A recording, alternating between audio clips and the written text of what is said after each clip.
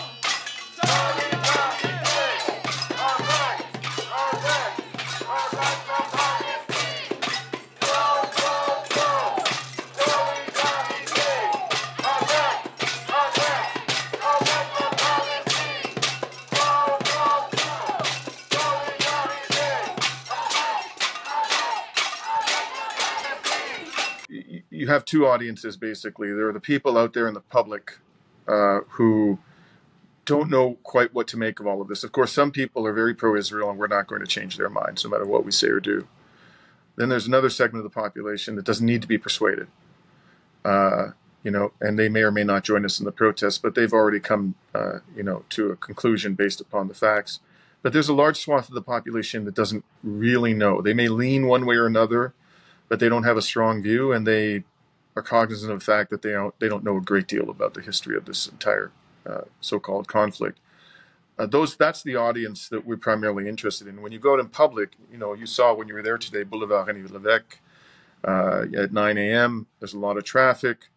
People will see us out there. They'll hear us making noise, waving the Palestinian flag. They go, hmm. And they see that often enough, they start asking themselves questions. Why are all these people out in the streets? What are they upset about? Why do they say these things? So we try to stimulate conversation and uh, inquiry by the members of the public who whose minds aren't made up. Uh, and the other audience, of course, is the political class, the people who are in the building today. We want it, we want them to feel the heat. We want them to feel that whenever they appear anywhere publicly, whenever they their their presence is known to the public, they are going to have to confront protests. We really felt we have no alternative but to constantly uh, protest, uh, and uh, particularly when we can get anywhere close to the members of the Trudeau cabinet to make them feel that pressure personally.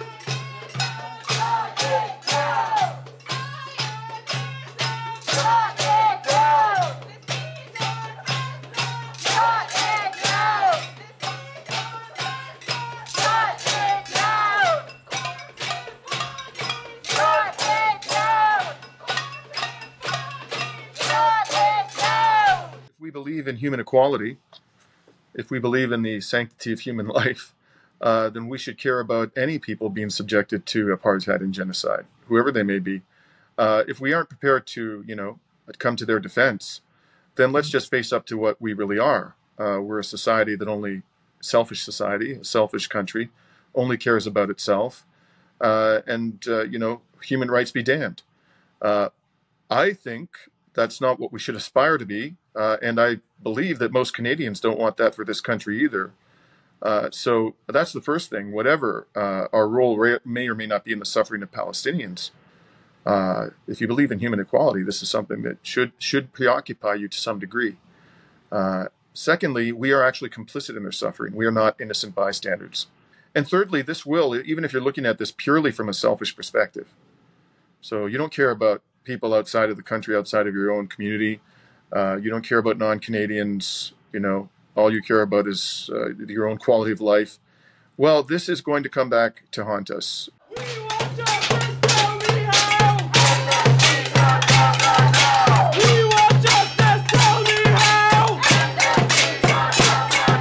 Israel did precisely, precisely what you know anybody could have predicted. It thumbed its nose at the General Assembly, and if you're not prepared to back up that vote with concrete action, then it's pointless. Uh, and what are the concrete actions? Sanctions. Sanctions. Exactly what they've done to Russia, what they've done to Iran, what they did to Venezuela, even though, uh, frankly, none of these countries, none of these countries has engaged in the level of depravity and monstrosity that we're witnessing today in Gaza. So just take, let's take the example of uh, uh the Ukraine war. Uh, in some two years, it's been almost two years, less than 600 children have been killed. Not all of them were killed by Russian forces, by the way, because the Ukrainians also fired a huge amount of munitions, and some of those munitions uh, did kill civilians. Uh, but let's suppose that all of the civilian, uh, the, the, the children deaths are attributable to Russia. That's fewer than 600 in two years. Over 12,000 have been killed by Israel in Gaza in three months. That's the, the rate at which uh, they are killing children in Gaza is, I did the math, it's about 133 times greater than the rate at which children are dying in the Ukraine war. And yet we have not imposed a single sanction on Israel, but have imposed a broad array of sanctions on Russia. We've sanctioned virtually everything we can sanction when it comes to Russia. So what's the point of voting if you're not going to back it up when Israel thumbs your its, its nose at you? You know, it has to. We have to enforce the law. Uh, and sanctions are the best way to go about that.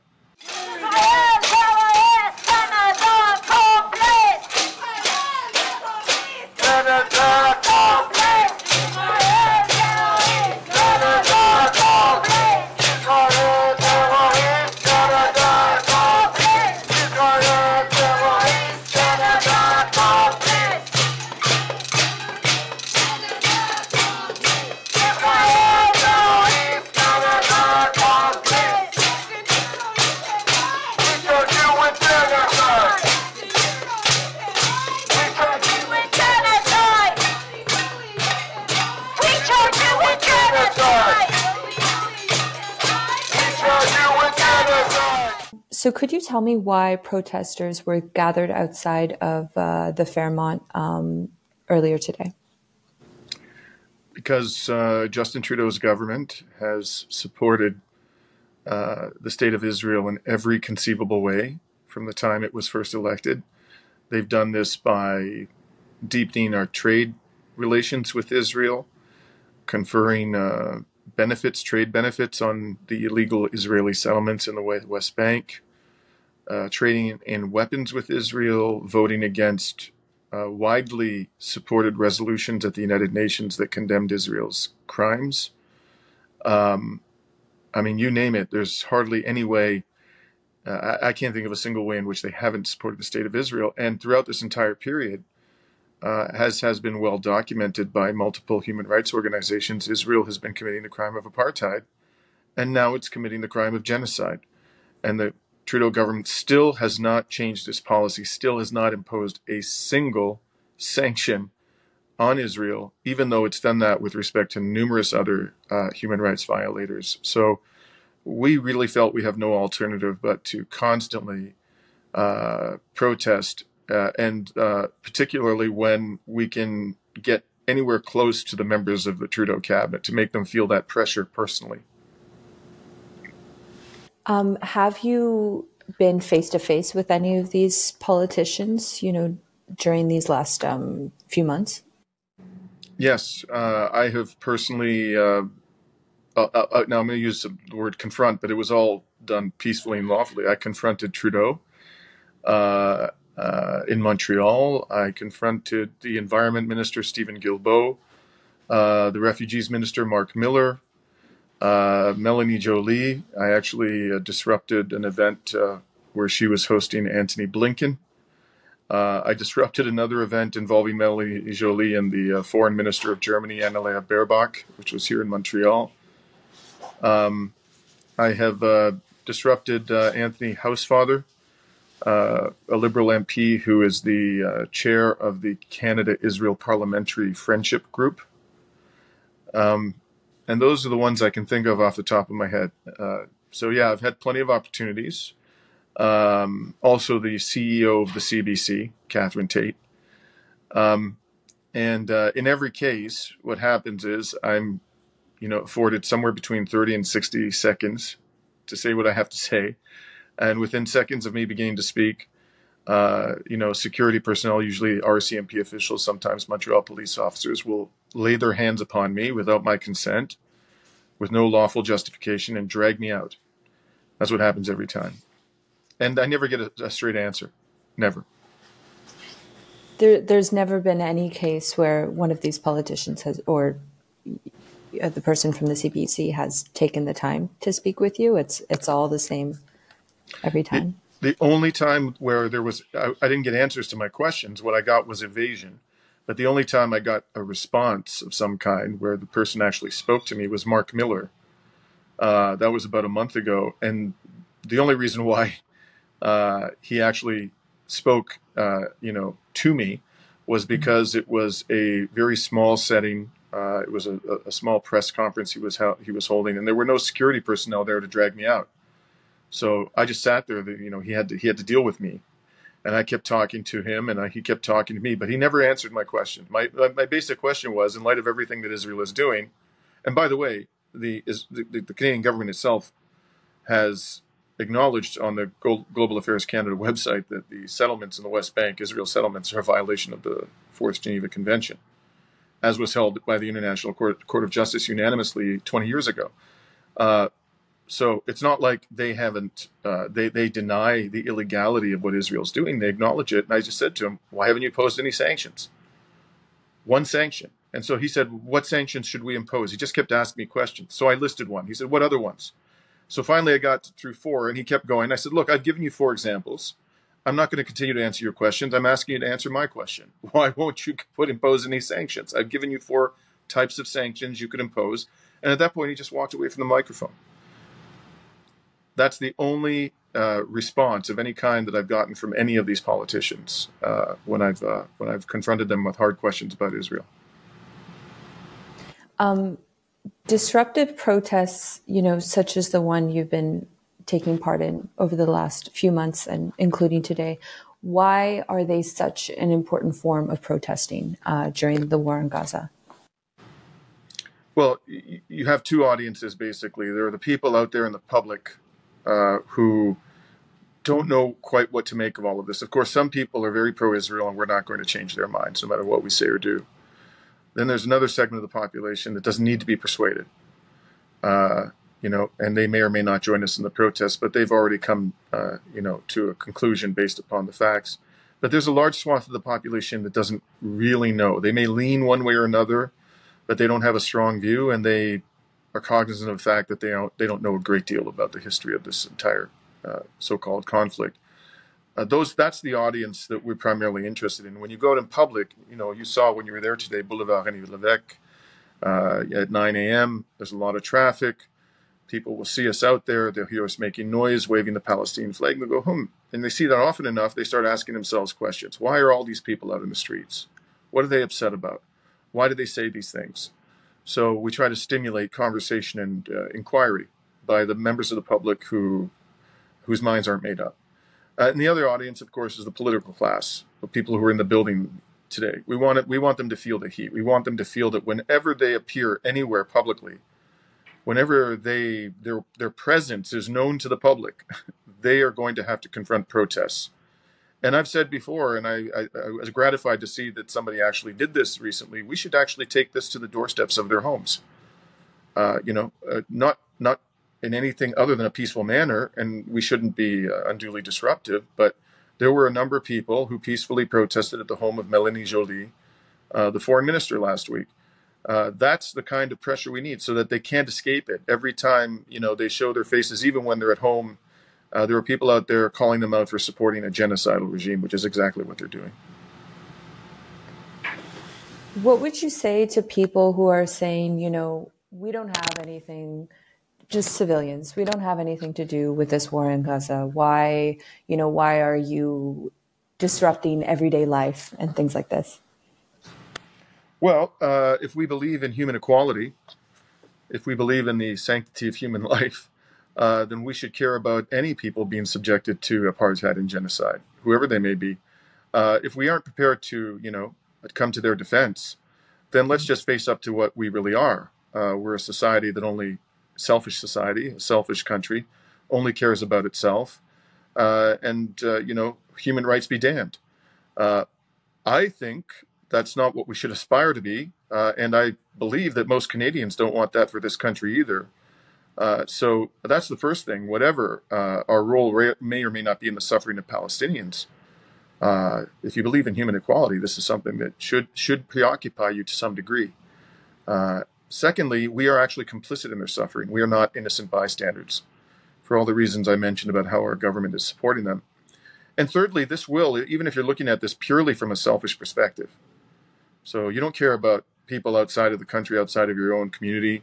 Uh, you don't care about non-Canadians. You know, all you care about is uh, your own quality of life well, this is going to come back to haunt us, uh, and it already is, as a matter of fact. Uh, so, what I'm talking about here particularly is the uh, Yemeni Ansarallah, uh, which you know we refer to as the Houthis. They have effectively stopped traffic, commercial shipping in the Red Sea. It's very clear why they're doing that because of the genocide happening in Gaza. Uh, they said they'll allow it to be restored once that is stopped. Uh, and I saw an article in the CBC a week ago uh, talking about how Canada's commercial shippers are being adversely impacted by the inability to ship through the Red Sea. And this is going to increase shipping costs. Uh, this is going to uh, increase the cost of goods uh, that we are importing into Canada from markets in that area of the world. Uh, it's going to increase the cost of our goods to the extent we have to ship them around the, you know, the Cape of Africa rather than through the uh, Suez Canal. Um, so this and and then that's just the the beginning. Uh, if this uh, uh, breaks out into a full scale war, and we're perilously close to that right now, uh, then the price of oil is going to go through the roof. It's going to reach historically high levels. We're already struggling with inflation in this country. And then there's, of course, radicalization you know, people see us supporting a genocidal regime in that part of the world. You know, we've seen this before. The intelligence agencies refer to it as blowback, where uh, the sub the population is being subjected to brutalization with our support, uh, ends up lashing out uh, at our own population, sometimes in atrocious ways, as we saw with, uh, in, in, for example, in the attacks, the 9/11 attacks in the United States. So this actually will have profoundly negative impacts on uh, our lives, our standing in the world, our ability to have friendly relations with other states. So even if you're looking at this from a purely selfish respect, perspective, I don't. Uh, you should care about this.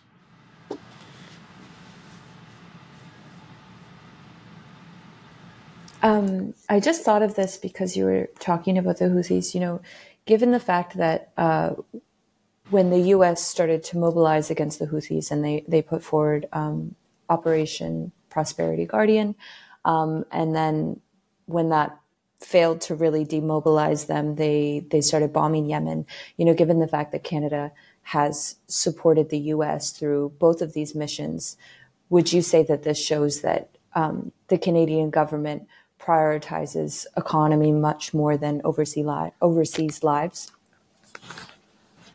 Uh, well, I, I, don't think that they may think that they're prioritizing the economy over uh, the lives of people in distant lands. Uh, but for the reasons I've just articulated, I don't think this is an economically sensible approach uh, to dealing with the the war in Gaza. I mean, if you're trying to be just, uh, you know, uh, sensible from a financial or fiscal perspective, you would try to de escalate that conflict as quickly as possible before we get a full blown war. Uh, restoring maritime shipping. Also, it costs Canada significant amounts of money to maintain a military presence in the Middle East. That's money we could be using here at home. Uh, even if even if the only thing you care about is the debt, we could be using that money to pay down our debt. But we could also be using it to help with the homeless, the poor, strengthen our healthcare system, and so forth. So, from an economic perspective, this makes absolutely no sense. The government may think that this is the economically sensible thing to do, but they're terribly mistaken if that's what they think. I, I believe that the answer is much uh, more sinister, actually. I think they're doing it because this is what the US government wants us to do, principally. And the US government wants us to do this not because it's serving the interests of the American people, but because it's been completely co opted by the military industrial complex uh, in the arms industry, uh, just as you know uh, President Eisenhower predicted would happen at the end of his second term. Would you say that this really critiques Canada as having a so-called peacekeeper status? That's always been a myth. Canada is a very, very militaristic country.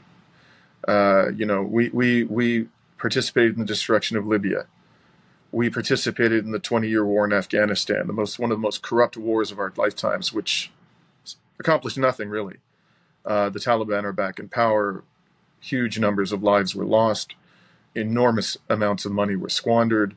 Uh, we participated in the Iraq War, even though Jean Chrétien did not officially uh, enlist us in that enterprise, which was a, a, crime against humanity. We were assisting uh, covertly in a number of ways, as was later uh, revealed.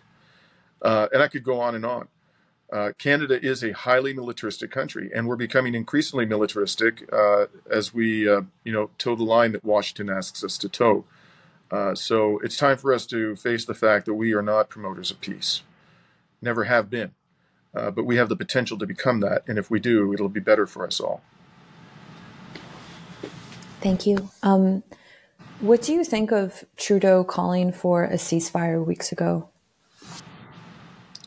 Uh, it, it, certainly was better than him not calling for a ceasefire, but uh, Israel did precisely, precisely what you know anybody could have predicted. It thumbed its nose at the General Assembly, and if you're not prepared to back up that vote with concrete action, then it's pointless. Uh, and what are the concrete actions? Sanctions. Sanctions. Exactly what they've done to Russia, what they've done to Iran, what they did to Venezuela, even though uh, frankly, none of these countries, none of these countries has engaged in the level of depravity and monstrosity that we're witnessing today in Gaza. So just take, let's take the example of uh, uh, the Ukraine war. Uh, in some two years, it's been almost two years, less than 600 children have been killed. Not all of them were killed by Russian forces, by the way, because the Ukrainians also fired a huge amount of munitions, and some of those munitions uh, did kill civilians. Uh, but let's suppose that all of the civilian, uh, the, the, the children deaths are attributable to Russia. That's fewer than 600 in two years. Over 12,000 have been killed by Israel in Gaza in three months. That's the, the rate at which uh, they are killing children in Gaza is, I did the math, it's about 133 times greater than the rate at which children are dying in the Ukraine war. And yet we have not imposed a single sanction on Israel, but have imposed a broad array of sanctions on Russia. We've sanctioned virtually everything we can sanction when it comes to Russia. So, what's the point of voting if you're not going to back it up when Israel thumbs your its, its nose at you? You know, it has to. We have to enforce the law, uh, and sanctions are the best way to go about that. After pulling out of the Green Party leadership in 2022, you said those who dare to oppose Western militarism or our failed economic system are being marginalized and suppressed to a degree that is unprecedented in my lifetime. Do you feel that we're seeing this at an intensified rate in Canada during the war on Gaza? Absolutely. I've never seen anything like it. Uh, you know, I've been doing uh, pro bono legal work for Palestinian solidarity activists for six years. And uh, in the time, uh, in the three months that have elapsed uh, since this genocidal war began, I have been inundated with requests for legal assistance from people across the country. Uh, some of them uh, attempts are being made to university students. Attempts are being made to expel them from university. Others have lost their jobs. Others are under threat of losing their jobs. Uh, one person I'm representing uh, is a professional, uh, and he uh, has had a complaint filed against him, a totally bogus complaint. Uh, uh, with the professional organization of which he is a part, he could lose his license to practice his chosen profession, which would have devastating consequences on him. And and and this particular individual, I'm not going to mention his name, but he, he his family in Gaza who have been killed in the last three months in the most brutal, horrific manner. And, uh, you know, a major pro Israel organization here is trying to destroy his career because he spoke out about this. I've never seen anything like it. And today, it's timely that you ask me this question. You know, when Justin Trudeau invoked the Emergencies Act during the truckers' convoy, and I certainly was no fan of that uh, protest myself, I condemned the invocation of the Emergencies Act. Uh, I, I said that it was a violation of the Charter of Rights and Freedoms and that this was going to come back and haunt us, that this was setting a precedent. And in fact, today, a court ruled that the invocation of the Emergencies Act violated the Canadian Charter of Rights and Freedoms. Now, uh, as of this moment, Justin Trudeau hasn't invoked the Emergencies Act against us, in other words, Palestinian solidarity activists. And now that this decision has come out, uh, hopefully, he wouldn't think seriously about doing that. Uh, but the precedent has been set, and even though he probably won't end up doing it in this case, I actually have very serious concerns about Pierre Poilievre. If that man, I mean, if we think Justin Trudeau is pro-Israel, wow, that man is like fanatical, and uh, I don't think he would hesitate to use the Emergencies Act to shut down widespread protests against Israel in this country. Uh, so we have we are really in a in a perilous place when it comes to our basic rights of free free speech and free assembly, and it's time that we we stood up for it. And that means we not only defend our own right to speak, but we defend the rights of others to speak, even when we disagree with them. As you know, as I did in the case of the uh, the truckers convoy, I defended their right to protest within reasonable limits, even though I disagreed with their message. Thank you so much. Uh, is there anything that I didn't ask that you want to discuss, share? No, that was pretty comprehensive. Okay, wonderful.